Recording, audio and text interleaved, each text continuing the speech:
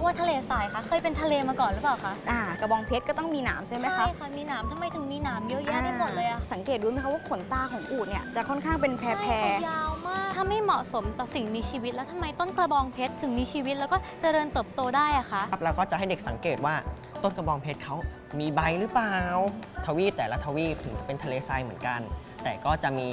ทวีปที่มีต้นกระบองเพชร กับทวีปที่ไม่มีต้นกระบอ๋องอเพชรแล้วก็นั่นเงอีกทวีปหนึ่งก็จะมีอูดใช่ไหมคะ ใช่ทวีปที่มีอูฐเนี่ยก็คือไม่มีกระบองเพชร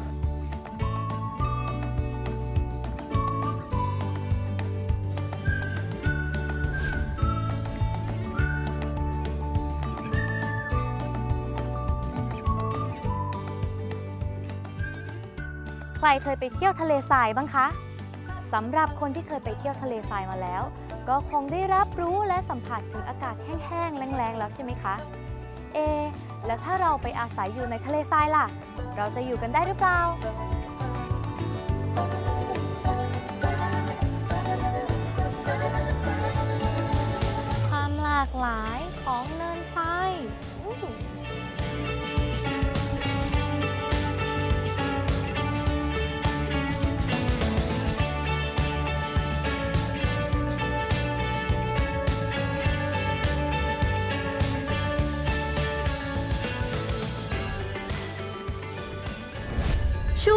การค้นพบ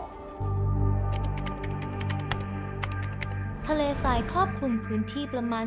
18%ของพื้นที่โลก อยู่ในบริเวณเส้นหลุงที่ 10 องศาเหนือและใต้ มีปริมาณน้ำฝนน้อยกว่า 10 นิ้วต่อปี มีอัตราการระเหยของน้ำสูงกว่าปริมาณน้ำฝนที่ตกลงมา 5-7 เท่า อุณหภูมิในช่วงกลางวันและกลางคืน แตกต่างกันอย่างเห็นได้ชัด ปัจจัยจำกัดที่สำคัญในทะเลทรายคือน้ำ ดังนั้นสิ่งมีชีวิตที่สามารถอาศัยอยู่ในทะเลทราย ต้องปรับทั้งโครงสร้างร่างกาย สรีระ และพฤติกรรม เพื่อให้เหมาะสมกับสภาพแวดล้อมที่แห้งแล้ง โดยพืชในทะเลทราย ปรับตัวด้วยการกักเก็บน้ำไว้ในลำต้น มีรากอย่างลึกมาก เพื่อแสวงหาน้ำใต้ดิน หรือลดรูปของใบให้มีขนาดเล็กลง และมีการสร้างสรรค์คล้ายขี้ผึ้งเคลือบผิวใบ เพื่อลดการคลายน้ำ การปรับตัวอีกลักษณะหนึ่งคือ การผลิตเม็ดที่ทนทานต่อความแห้งแล้งได้ดี ต่อเมื่ออุณหภูมิและความชื้นเหมาะสม จึงจะงอกงามและเติบโตอย่างรวดเร็ว สัตว์ทะเลทรายมีหลายจำพวก ได้แก่ พวกที่อยู่ในสภาพไข่ ดักแด้ หรือรูปแบบอื่น ที่ทนต่อสภาวะแห้งแล้งได้ยาวนานนับเดือน นับปี ขณะที่บางจำพวกจะหลบร้อนในตอนกลางวัน และออกหาอาหารในเวลากลางคืน และอีกจำพวกหนึ่งจะเป็นสัตว์ทะเลทรายที่สามารถทำกิจกรรมตลอดทั้งวัน ซึ่งจะมีความสามารถสูง ในการปรับตัวทางสรีระทำให้สิ่งมีชีวิตอยู่รอดได้ ในหลายสภาพอากาศที่เปลี่ยนแปลงอย่างรุนแรงระหว่างกลางวันกับกลางคืนค่ะสิ่งมีชีวิตเหล่านี้เนี่ยเป็นสิ่งมีชีวิตที่อาศัยอยู่ใต้ต้นกระบองเพชรยักษ์ saguaro ค่ะ ซึ่งเจ้าต้น saguaro cactus เนี่ยเป็นกระบองเพชรชนิดหลัก ชนิดใหญ่แล้วก็ชนิดเด่นที่อยู่ในทะเลทรายโซโนรันค่ะ ซึ่งทะเลทรายโซโนรันเนี่ยเป็นทะเลทรายที่มีความหลากหลายของสิ่งมีชีวิต สูงกว่าทะเลทรายอื่นๆค่ะ ทำไมถึงเรียกว่าทะเลทรายคะ เคยเป็นทะเลมาก่อนหรือเปล่าคะ อ่าใช่แล้วค่ะ จริง ๆ แล้วพื้นที่ส่วนใหญ่ในโลกที่เป็นทะเลทรายของค่ะเราอะค่ะ เดิมเนี่ยในสมัยก่อนพื้นที่นั้นอะจะเป็นเคยเป็นทะเลมาก่อนค่ะ แต่ว่าพอดีมีการเปลี่ยนแปลงทางธรณีวิทยา เกี่ยวกับพวกการยกตัวแผ่นเปลือกโลกต่างๆ อะไรประมาณเนี้ยค่ะค่ะ ทำให้น้ำทะเลบริเวณนั้นอะมันลดหายไป แล้วหลังจากนั้นเนี่ย ก็จะมีอิทธิพลของลมที่ช่วยพัดพาทรายมาเป็นจำนวนมาก มาสะสมเอาไว้เยอะๆ ทีนี้พอในเวลานานเข้านานเข้าอะค่ะ ก็เลยทำให้พื้นที่ตรงนั้นอะเป็นดินแดนที่แห้งแล้งแล้วก็เต็มไปด้วยทราย ซึ่งอาจจะไม่ค่อยเหมาะสมต่อการที่จะมีสิ่งมีชีวิตเข้าไปอาศัยอยู่เท่าไหร่ค่ะอ้าวแล้วถ้าไม่เหมาะสมต่อสิ่งมีชีวิต แล้วทำไมต้นกระบองเพชรถึงมีชีวิตแล้วก็เจริญเติบโตได้อะคะ อ๋อจริงๆ แล้วพืชในทะเลทรายอะค่ะ จะมีหลากหลายชนิดเลย แต่ว่า กระบองเพชรเนี่ยใครๆก็รู้จักเนอะว่า ถ้าพูดถึงทะเลทราย พืชก็ต้องเป็นกระบองเพชรแน่นอนาค่ะ ที่กระบองเพชรสามารถอยู่ได้ในทะเลทรายค่ะ เพราะว่ากระบองเพชรเนี่ยมีการปรับตัวมายาวนาน กระบองเพชรเป็นพืชอยู่ในวงแคคตาซีซึ่งมีลักษณะแตกต่างจากพืชในกลุ่มอื่นๆ ด้วยที่ว่าเขาอะปรับตัวให้ส่วนของลำต้น มีการอวบอ้วนอวบเต่ง ให้โครงสร้างข้างในอะค่ะ ค่ะ เป็นลักษณะคล้ายๆ กับฟองน้ำเพื่อที่จะได้สามารถ กักเก็บแล้วก็อุ้มน้ำไว้ภายในลำต้นได้ นอกจากนั้นเนี่ยตรงผิวของแคคตัสอะค่ะค่ะจะถูกอ่าเขาจะปรับตัวเองให้เป็นสารคล้ายๆแว็กซ์เป็นชั้นเป็นคล้ายๆไขมันนะคะค่ะมาเคลือบผิวเอาไว้ เพื่อที่จะลดการคายน้ำนอกจากนั้นอย่างกระบองเพชรก็ต้องมีหนามใช่ไหมคะค่ะมีหนามทำไมถึงมีหนามเยอะแยะไปหมดเลยอะคะค่ะ จริงๆแล้วเป็นใบที่เขาลดลูกมาอ๋อเอาไว้เป็นหนามเพค่ะราะว่าเขาป้องกันการคายน้ำออกมาค่ะอ๋ออย่างนี้นี่เองใช่แล้ว นอกจากการปรับตัวของลำต้นแล้วก็ใบแล้วค่ะ กระบองเพชรยังมีการปรับตัวในเรื่องของรากอะค่ะ ที่ทำให้ รากแก้วของเขาเนี่ยมีขนาดใหญ่แล้วก็อ่าอย่างลึกลงไปในชั้นผิวดิน เพื่อที่จะอ๋อเป็นการเหมือนเพิ่มโอกาสในการที่จะแสวงหาน้ำใต้ชั้นดินนะคะค่ะแล้วก็ลองสังเกตดูนะคะรากฝอยของอันนี้ต้นกระบองเพชรคือรากฝอยใช่ค่ะ อันเนี้ยค่ะคือรากฝอย ถ้ารากแก้วเนี่ยเยอะเราจะเห็นในมากแนวดิ่ง เป็นลักษณะเป็นอันใหญ่ๆที่แบบเขาหยั่งหยั่งลึกลงไปค่ะส่วนที่เราเห็นเป็นกระจายกระจายเนี่ยค่ะ ส่วนใหญ่จะเป็นรากฝอยอ๋อ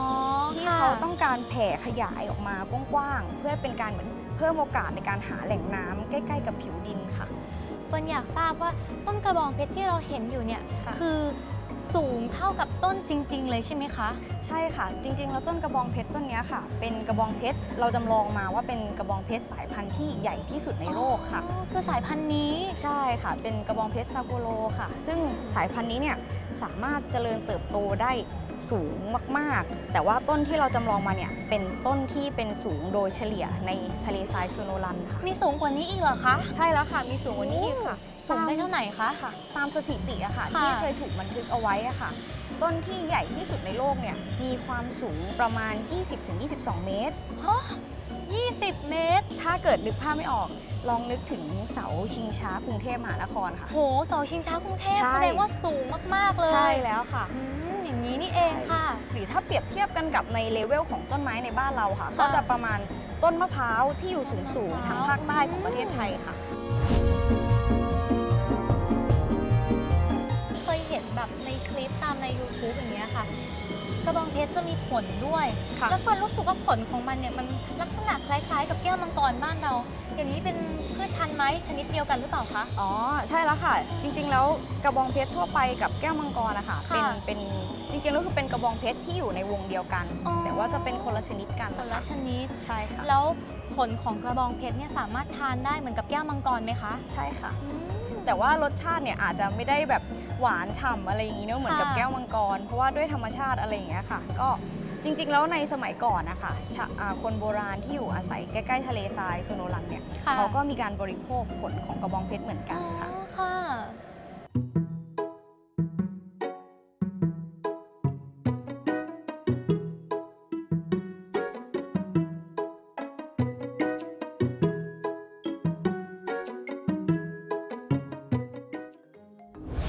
ช่วงวิทย์ชวนคิด กิจกรรมวันนี้นะครับค่ะเราจะเป็นกิจกรรมที่มีชื่อว่าสืบค้นต้นแคคตัสนะครับอืมหรือสืบ fighting cactus นั่นเองนะครับ ค่ะ ก็คือเราจะอันเนี้ยเป็นนิทรรศการอะเป็นกิจกรรมที่เสริมนิทรรศการนะครับค่ะ ก็คือจะส่งเสริมว่าในแต่ละนิทรรศการเนี่ยอือฮึมีความเป็นมายังไงค่ะแล้วก็มาทำกิจกรรมกันต่อมออย่างนี้นี่เองค่ะครับเพราะว่าเด็กๆเนี่ยพอเขาเห็นว่าเป็นนิทานเขาก็จะตั้งใจฟังมากยิ่งขึ้น สนใจเป็นพิเศษอ่านิทานของเราที่จริงเป็นนิทานแบบวิทยาศาสตร์ก็คือ เน้นความจริงทั้งนั้นเลยนะคค่ะรับแล้วก็ใส่คำถามเข้าไปแต่คำถามเนี่ยก็จะไม่ยากจนเกินไปนะครับค่ะเช่นแบบว่าต้นกระบองเพชรอยู่ที่ไหนอืมค่ะทะเลอะไร ทะเลทราย อ่าทะเลทรายแน่นอนค่ะครับแล้วก็จะเปิดรูปต่อไปว่า ทะเลทรายจะเป็นแบบนี้ใช่ไหมค่ะ เด็กตอบว่าใช่ค่ะ ใช่ครับไปเรื่อยค่ะ ๆประมาณอย่างนี้นะครับคำถามต่อมาก็คือในทะเลทรายแบบเนี้ยอากาศเขาเป็นยังไง อากาศร้อน ใช่ครับอ่าค่ะ เด็กทุกคนก็จะรู้ว่ามันร้อนอย่างเดียว ค่ะแต่ถ้าเกิดเป็นข้อเท็จจริงแล้วตอนที่เราเฉลยเราก็จะบอกว่ากลางวันจะเป็นยังไงครับ ร้อนร้อนมาก ตอนกลางคืนจะเป็นยังไงครับ หนาวมากอ่าใช่ไหมคะ ใช่ครับจะมีความแตกต่างระหว่างอุณหภูมิเนี่ยค่อนข้างเยอะมากเลย เพราะฉะนั้นค่ะถ้าเกิดว่าเราจะเรียกโดยรวมๆแล้วสภาพภูมิอากาศของทะเลทรายเราจะเรียกแบบว่าเป็นสภาพภูมิอากาศแบบแห้งแล้งนั่นเอง เมื่อมันแห้งแล้งแบบนี้แล้ว จะมีอะไรอยู่ในทะเลทรายได้บ้างครับอืมต้นกระบองเพชรใช่ไหมคะอ่าใช่ครับก็จะโยงไปว่าเด็กก็จะฟังตั้งแต่เริ่มต้นแล้วว่าเรื่องนี้คือ Finding Cactus ก็จะมีต้นค่ะกระบองเพชรอย่างแน่นอนอ่าทีนี้นะครับเราก็จะให้เด็กสังเกตว่าต้นกระบองเพชรเขามีใบหรือเปล่า ไม่มีค่ะมีแต่หนามค่ะอ่ามีแต่หนามเต็มไปหมดเลย ไม่มีใบค่ะทำไมถึงไม่มีใบล่ะครับอืมเด็กก็จะเริ่มผิดอันนี้เขาจะตอบไม่ค่อยได้ค่ะเราก็จะพูดไปก่อนว่าอ่าเด็กๆครับ ในพิพิธภัณฑ์ของเรานะครับ จะมีนิทรรศการที่เรียกว่าโซนทะเลทรายอยู่ค่ะใครได้ลองไปเดินดูหรือยังครับ ถ้าใครเคยแล้วก็จะยกมือเคยแล้วค่ะเคยแล้วครับอ่าค่ะ ใช่ไหมทีนี้แต่เด็กๆเขาเดินดูเนี่ยเขาก็จะไม่สนใจข้อมูลอะไรมากมายนะครับ เราก็จะเปิดรูปนี้ให้เขาดูว่า ใครเคยเห็นพี่กระบองเพชรยักษ์ต้นนี้บ้าง ค่ะ อ่าแล้วก็จะเล่าถึงว่าความเป็นมาความสำคัญทำไมต้องเอาพี่กระบองเพชรอยู่ตรงกลางนะครับ ด้านขวาเป็นทะเลทรายประเภทไหน ด้านค่ะ ซ้ายเป็นทะเลทรายประเภทไหน อ๋อ เนี่ยสองข้างเป็นทะเลทรายเหมือนกัน แต่ว่าลักษณะ รูปไม่เหมือนกันเลยใช่เป็นคนละทวีปกันอ๋อนั่นเองคนละคทรับวีปกันอย่างนี้นี่ถ้าเกิดว่าองเด็กๆได้ลงไปเดินดูจริง ๆ นะครับค่ะด้านซ้ายตรงนี้เนี่ยอีกหน่อยหนึ่งนะครับจะมีพี่อูดอ๋อมีใช่อูฐอยู่ตัวหนึ่งอูดตัวหนึ่งแล้วถ้าเกิดเห็นอูดปุ๊บมันจะอยู่ในทวีป แอฟริกาแน่นอนครับส่วนด้านซ้ายนะครับ จะมีพี่กระบองเพชรขึ้นอยู่หนักแน่นเลย จะเป็นทวีปอเมริกาใต้อย่างนะนี้ครับนี่เองค่ะ ก็จะเป็นการจำแนกสอนให้เด็กๆ รู้ว่าทวีปแต่ละทวีปถึงจะเป็นทะเลทรายเหมือนกัน แต่ก็จะมีทวีปที่มีต้นกระบองเพชรกับทวีปที่ไม่มีต้นกระบอ๋อองเพแล้ชวรก็นั่นเออีกงทวีปหนึ่งก็จะมีอูดใช่ไหมคะ ใช่ทวีปที่มีอูฐเนี่ยก็คือไม่มีกระบองเพชรอ๋ออ่าหลังจากนั้นนะครับเราก็จะสอนเด็กๆอะซูมให้เด็กๆดูก่อนนะครับว่าอืม ข้างๆเขาเนี่ยมีนกด้วยอ่ามีพี่นกอยู่ข้างในค่ะนะครับทำไมถึงไม่อยู่ด้านในครับนั่นน่ะสิทำไมล่ะคะอ่าเพราะว่าภายในนะครับจะมีความชุ่มชื้นมากๆเลย เพราะพี่กระบองเพชรเป็นต้นกระบองเพชรที่มีความชุ่มชื้นกักเก็บน้ำไว้ด้านในค่ะพออยู่ข้างในแล้วก็อาจจะมีความที่เย็นสบายนะครับก็เลยไปเจาะอย่างรูนี้นี่เองนะคค่ะรับแต่รอบๆเป็นยังไงครับ มีใบไหมเอ่ย ไม่มีค่ะมีแต่หนามเยอะแยะเต็มไปหมดเลย ใช่ครับ หนามนี่นะครับมีความสำคัญต่อพี่กระบองเพชรเขามากๆเลยนะครับค่ะก็คือมันจะใช้สำหรับการคายน้ำนั่นเอง ตรงปลายเขาจะมีรูเล็กๆนะครับสำหรับการคายน้ำเมื่อมันเล็กมันก็จะคายน้ำได้น้อยน้อยนะครับเขาก็เลยมีความชุ่มชื้นอยู่ในร่างกายเยอะนั่นมอเอย่างงนี้นี่เองค่ะ ต่อไปนะครับจะเป็นการที่ให้เด็กๆนะครับ ได้ดูของจริงกันเลยนะอืมคมีรับของจริงด้วยเหรอคะใช่ครับเราจะมีต้นกระบองเพชรน้อยๆนะครับให้ค่ะเด็กๆฝึกการสังเกตนะครับก็คือต้นนี้นี่เออ๋องต้นนี้นี่เอง อ่าแล้วเราก็จะแจกอาวุธให้เด็กกับคนละหนึ่งอันนะครับก็คือค่ะอาวุธของเราจะเป็นแว่นขยายอ๋อแบบนี้แว่นะครับเพื่อที่จะมาส่องรายละเอียดเล็กๆใช่ครับเล็กจะส่องๆราใช่ยไหมละเอียดคะแบบนี้ให้ดูขอลองอะดูลหองน่อยดูได้นะเลคะยนะครับอืมนี่ค่ะ เห็นชัดมากเลยโอ้มีหนามเยอะแยะเลยค่ะ แล้วยังไงต่อคะเด็กๆก็เริ่มทำกิจกรรมเลยใช่ไหมคะตอนนี้เด็กๆก็จะสังเกตไปเรื่อยๆครับอืมแล้วก็จะยิงคำถามไปเรื่อยๆครับค่ะเช่นแบบว่า น้องๆสังเกตเห็นสีอะไรในต้นกระบองเพชรบ้างสีเขียวอ่าสีเขียวแน่นอนสีเลย ขาวสีค่ะขาวใช่ครับมีสีน้ำตาลนิดหน่อย อ่าแน่นอนแล้วก็ใช่ครับ ข้างบนเนี่ยจะเป็นเขียวอ่อนข้างล่างจะเป็นเขียวเข้ม ใช่ครับค่ะนี่แหละครับก็คือประเด็นสำคัญที่เราอยากให้เด็กๆรู้ว่าต้นไม้หนึ่งต้น ไม่ได้มีแค่สีเดียวสีเดียว คือสีเขียวเท่านั้น ค่ะ มีสีเขียวอ่อน สีเขียวเข้เข้ม ม สีน้ำตาลสีขาวอืมเต็มไปหมดเลยนะคค่ะ รับแล้วประเด็นสำคัญอีกอย่างหนึ่งก็คือ ให้น้องๆตอบคำถามพี่นะครับว่า ในหนึ่งตุ่มหนามเนี่ยมีหนามกี่เส้น โอ้โห เดี๋ยวนะคะเฟิร์นนับก่อน เอ๊ะเอ๊ะเอ๊ะหนึ่งสองสิบสิบสองสิบสามอ่า ก็จะตอบเยอะใช่แยะไหมเลยคะ12 11 10อ่าอะไรเส้นอะไรอย่างเงี้ยครับค่ะ ก็จะมีเยอะแยะเต็มไปหมดเลยคำตอบนะครับค่ะ นะแต่คำตอบที่ถูกต้องก็คืออยู่ที่ประมาณ8ถึง12 เส้นประมาณนะครับค่ะเพราะว่า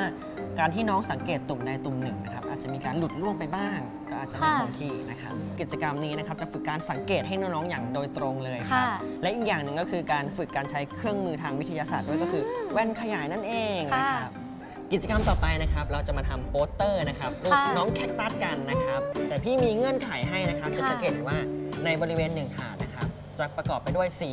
เทียนนะครับค่ะสีไม้ทรายนะครับค่ะแล้วก็กากเพชรอืมน้องๆทำยังไงก็ได้นะครับ ต้องใช้ส่วนประกอบทั้ง 4 อย่างให้ครบอยู่ในโปสเตอร์หนึ่งแผ่นโอ้โหทำไงดีเนี่ยอ่าทีนี้ก็อยู่ขึ้นอยู่กับน้องๆครับว่าจะออกแบบ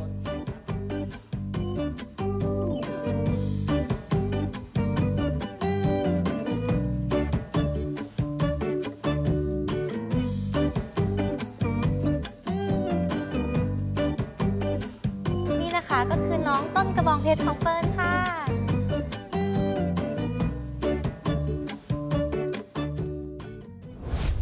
ช่วงการค้นพบ เมื่อนึกถึงทะเลทราย คุณคงจินตนาการถึงดินแดนอันว่างเปล่า ไร้ชีวิตชีวา และไม่มีอะไรที่สามารถอยู่รอดได้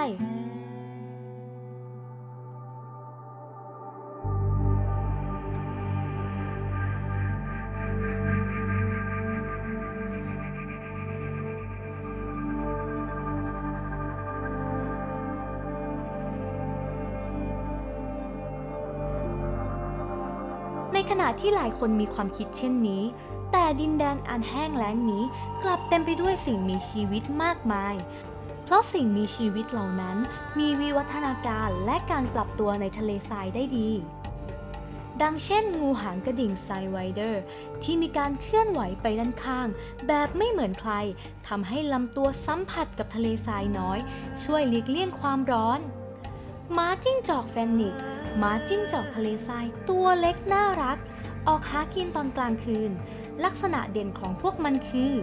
ใบหูขนาดใหญ่ที่ไม่เพียงแค่ช่วยฟังได้ดี แต่ช่วยระบายความร้อนทำให้ร่างกายเย็นสบาย หนูเจอบัวที่มีขายาวและกระโดดได้สูงมาก เพื่อแตะพื้นอันร้อนระอุให้น้อยที่สุด พวกมันสามารถวิ่งได้ไกลกว่า 25 กิโลเมตร น่ามหัศจรรย์ ที่เจ้าหนูเจอบัวไม่จำเป็นต้องดื่มน้ำซึ่งเป็นประโยชน์ต่อการปรับตัวในทะเลทราย พวกมันสามารถดึงน้ำจากสิ่งที่กินเข้าไป หากร่างกายต้องการ เต่าบกทะเลทราย ลักษณะเด่นคือ ผิวหนังสีเหลืองน้ำตาลอ่อน มีหนามงอกออกตรงบริเวณขาหลัง เต่าบกชนิดนี้อยู่ในสภาพภูมิอากาศแบบร้อน จึงไม่สามารถทนทานต่อสภาพอากาศเปียกชื้น หรือหนาวเย็น ลักษณะนิสัยยังชอบขุดอยู่ใต้ดิน ส่วนพืชจะสามารถดำรงชีวิตและเจริญเติบโตอยู่ในทะเลทรายได้ โดยที่มีอากาศอันแห้งแล้งและไม่มีน้ำ ต้องอาศัยการเปลี่ยนแปลงตัวเอง ให้สามารถต้านทานต่อช่วงอุณหภูมิที่สูงขึ้น ด้วยการกักเก็บน้ำภายในทุกส่วน ต้องต่อสู้ภายในอากาศอันร้อนและแห้งแล้ง ผิวต้นและใบคล้ายเคลือบด้วยขี้ผึ้งบางปกคลุมด้วยหนามอันแหลมคม เพื่อป้องกันตัวเองจากสัตว์หรือแมลง และป้องกันการระเหยน้ำออกจากลำต้น รากดูดน้ำได้อย่างรวดเร็ว ก่อนจะซึมและหายลงไปในดินทราย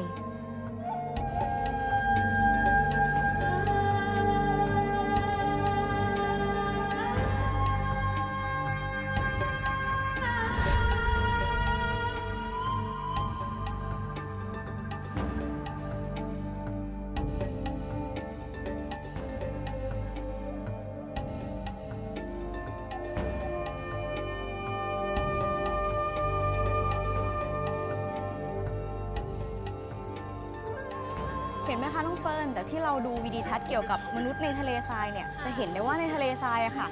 ไม่มีมนุษย์ที่จะสามารถเข้าไปตั้งรกรากหรือว่าอาศัยอย่างถาวรได้ในทะเลทรายอะค่ะเขาอยู่เพียงแค่ที่จะต้องการเหมือนแบบนอนค้างอ้างแรมชั่วคราว เพื่อที่จะเตรียมเล่ร่อน หรือว่าเตรียมอพยพไปอีกเมืองหนึ่งอะค่ะเพื่อที่จะไปขายสินค้าหรือว่าจะไปเหมือนหาแหล่งอาศัยที่มันอาจจะเหมาะสมมากกว่านี้ โดยที่เขาอะค่ะ ใช้เจ้าอูฐเนี่ยค่ะ เป็นพาหนะในการเดินทางค่ะ อย่างนี้นี่เอง ใช่ค่ะ ค่ะ เดี๋ยวเราไปดูอูฐกันนะคะ โอเคค่ะ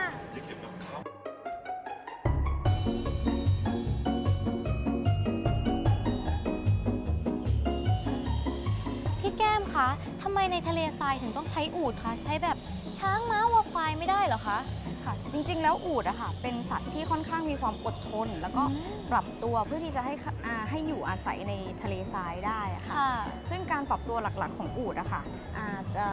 อันดับแรกเนี่ยเขาจะให้มีจมูกที่ค่อนข้างจะมีกล้ามเนื้อในการบังคับ เปิดปิดรูจมูกได้ ค่ะเป็นการป้องกันไม่ให้ทรายเข้าไปข้างใน แล้วก็เป็นการเหมือนป้องกันไม่ให้น้ำจากภายในตัวออกมาค่ะ อ๋อค่ะค่ะใช่แล้วก็นอกจากนี้เนี่ยสังเกตดูไหมคะว่าขนตาของอูฐเนี่ยจะค่อนข้างเป็นแพรใช่ๆค่ะยาวมากอ่าเลยใช่ เยอะมากด้วย เป็นแพรหนาๆยาวๆ เพราะว่าค่ะ เขาป้องกันเขาจะโบกพัดอย่างเงี้ยค่ะ เพื่อเป็นการป้องกันไม่ให้ทรายเนี่ยเข้าไปในดวงอ๋ตาขอองอย่างเขานี้นี่เองเพราะว่าแบบที่ทะเลทรายก็มีทรายเยอะแล้วก็มีลมพัดใช่ไหมคะ ใช่ค่ะ แล้วก็ค่ะนอกจากนั้นแล้วเนี่ย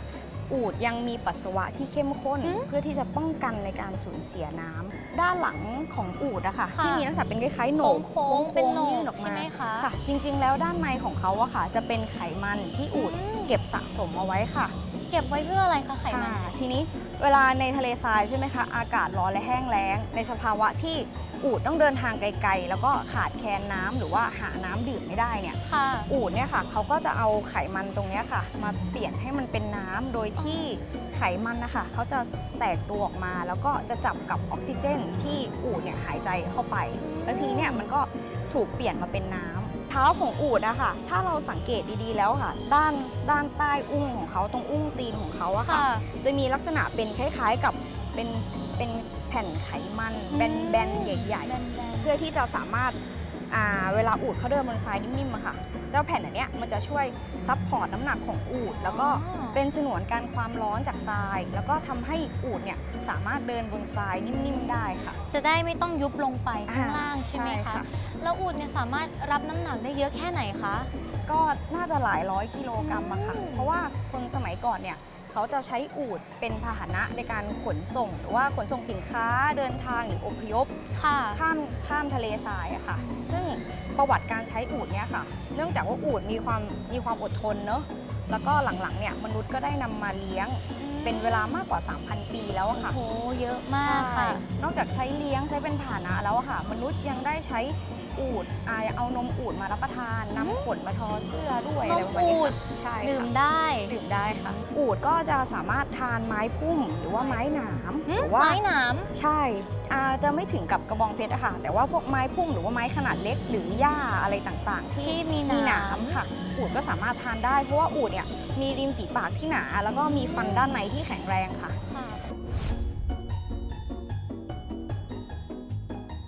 อ๊ะแล้วอย่างนี้ที่ไทยอะค่ะสามารถมีทะเลทรายได้ไหมคะ ค่ะ จริง ๆ แล้วในประเทศไทยของเราอะค่ะ ด้วยตำแหน่งที่ตั้งที่ใกล้กับเส้นศูนย์สูตร แล้วก็ทำให้มีปริมาณน้ำฝนเนี่ยมากกว่า 250มิลลิเมตรต่อปีอะค่ะค่ะ ทำให้บ้านของเราเนี่ยไม่มีอ่าลักษณะภูมิประเทศที่เรียกว่าทะเลทรายค่ะ ค่ะ แต่ว่าจริง ๆ แล้วเนี่ยค่ะ ตอนนี้ ประเทศไทยกำลังประสบปัญหาที่มีพื้นที่แห้งแล้งเพิ่มมากขึ้นค่ะมีพื้นที่แห้งแล้งที่มีลักษณะเป็นชั้นดิน เป็นดานแข็งๆเพิ่มมากขึ้นนะคะค่ะซึ่งพื้นที่เหล่านี้เนี่ยมันเกิดมาจากที่ภูมิประเทศภูมิอากาศมันเกิดการเปลี่ยนแปลง ซึ่งสาเหตุหลักๆเนี่ย ก็โดยหลักเลยเนี่ยก็คือมาจากมนุษย์เรานี่แหละค่ะ ที่มีการใช้ที่ดินบริเวณนั้นผิดวิธีค่ะรวมถึงใช้สารเคมีอ่าเลี้ยงปศุสัตว์ทำการเกษตรที่เกินกำลังขนาดค่ะทำให้พื้นดินบริเวณนั้นเนี่ยค่ะเกิดการแห้งแล้ง แล้วก็ไม่ค่อยมีเหมือนต้นไม้ใหญ่ ๆ ขึ้นเหมือนแต่ก่อนอะดังนั้นนะคะเราก็ต้องเริ่มตระหนักที่จะช่วยการรักษาหรือว่าอนุรักษ์สิ่งแวดล้อม ใช้ประโยชน์จากที่ดินนี่แหละค่ะ ให้มันเกิดอ่าความ คุ้มค่า ใช้ประโยชน์ให้มันเกิดความถูกต้องเพิ่มมากขึ้น เพื่อที่ว่าประเทศไทยอะค่ะ เราจะได้ไม่ต้องมีพื้นที่แห้งแล้งคล้าย ๆ กับทะเลทรายค่ะค่ะ